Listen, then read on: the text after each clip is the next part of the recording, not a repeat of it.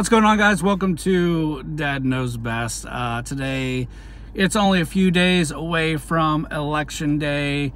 Uh, so I thought I'd throw a quick video up here. We haven't posted in this channel in a long time, but uh, I just felt compelled. Again, voting day is only a few days away from uh, when this video gets published or for when I even recorded it.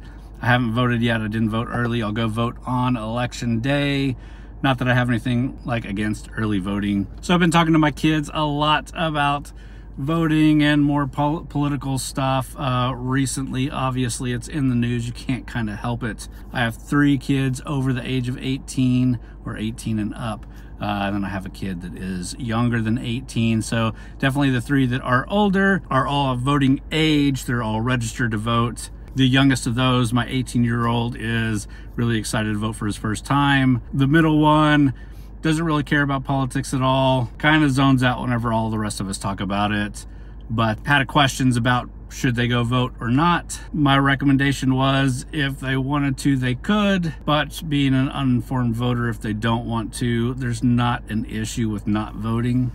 I know there's a big push, voting is so important and all that stuff, but um, quite frankly, if you're uninformed and don't care, it's probably better that you don't vote over voting and uh, not knowing what you're voting for. Now, I could give them just a list of people to vote for or tell them to vote straight ticket one way or the other, and they would probably do it. But uh, I think it's a good lesson to learn that if you're not informed and you don't care, then it's not really a process for you. Tell me if I'm wrong there. My oldest is 24.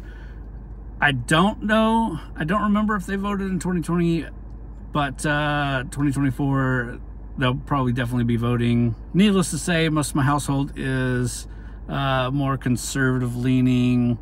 They're all voting for Trump. And for the first time ever this year, I'll be voting for Trump. I didn't vote for him in 2016.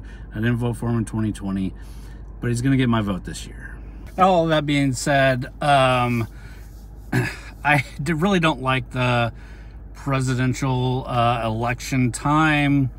I really don't care too much about who's president at any given time. Obviously, it matters in the direction that the country goes because of the way that we have um, contorted our system. It makes the president way more powerful and important than they need to be. One of the things I also preach to the kids is not just be informed on uh, presidential politics, but more local politics. I'm way more engaged in local politics here in Texas, in our city, in our county. I'm an advocate for watching online or going to city council meetings. Despite what uh, rhetoric is out there and um, kind of uh, the perception from a lot of people, I am a conservative that's very into urbanism and city design and things like that. And the way you affect that mostly is through your local government.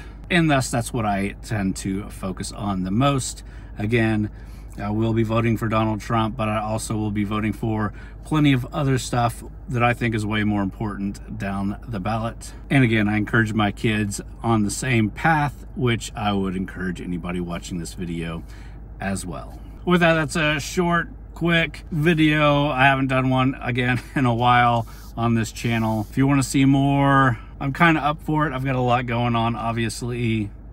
So this is kind of my fourth, fifth, sixth priority. But I do think this is an important election year. And I think if you are informed and you feel compelled to go vote, go vote. Pay attention to local politics if you don't care about politics at all, don't be bullied into voting for somebody that you have no idea what's going on because it never ends up well.